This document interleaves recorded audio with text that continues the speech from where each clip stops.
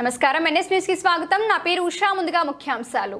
పల్నాడు జిల్లా మాచవరం మండలం నాగేశ్వరపురం తండా గ్రామంలో శ్రీ సీతారాముల దేవాలయం అభివృద్ధి కమిటీ చైర్మన్ ఎంపీడీఓ కారెంపూడి మరియు NBSS employees chairman Bukya Balunayak ఆధ్వర్యంలో శ్రీ కోదండరామస్వామి సీత లక్ష్మణ ఆంజనేయ శిలా జీవధ్వజ శిలా మహశీతలి గమడిశాలలు శిలా విగ్రహములు స్థిర ప్రతిష్టలు చేయించడం జరిగింది.